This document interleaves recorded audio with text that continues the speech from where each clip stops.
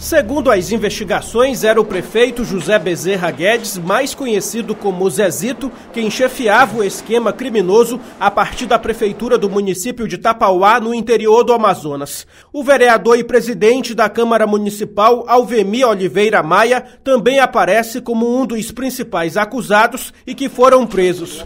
Ainda segundo as investigações, vereadores recebiam propina para aprovação de medidas e processos licitatórios fraudulentos.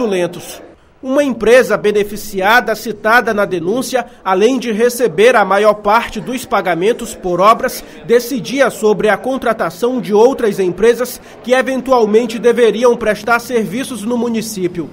Ainda conforme o Ministério Público do Estado, foi constatado também que quase todos os vereadores recebiam mesada mensal de até 3 mil reais.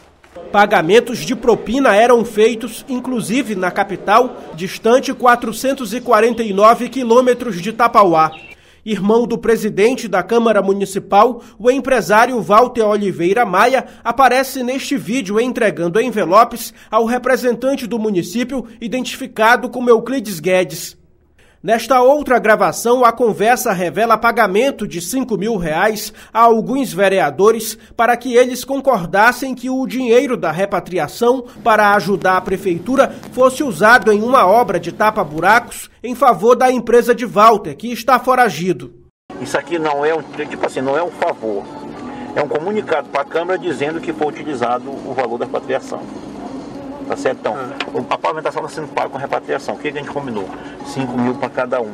Inicialmente, o Ministério Público constatou a movimentação de aproximadamente 60 milhões de reais pela organização criminosa. É absurdo, um município extremamente pobre, um índice de desenvolvimento humano bem baixo e o pouco recurso de orçamento que o município recebe praticamente na sua totalidade desviado. Então é inaceitável o padrão de vida dessas pessoas, inclusive com diversas residências em Manaus, é incompatível com a realidade do município. A operação do MP contra o desvio de verbas públicas teve o apoio da Polícia Civil e da Controladoria Geral da União.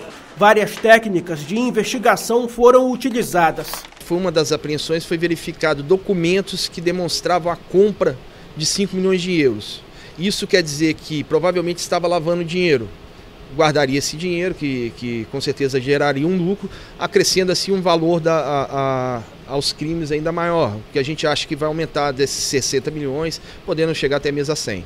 Todo o aparato de corrupção instalado na administração, o que para nós é lamentável em perceber que esse tipo de, de situação vem se repetindo constantemente nos municípios e a população sendo prejudicada.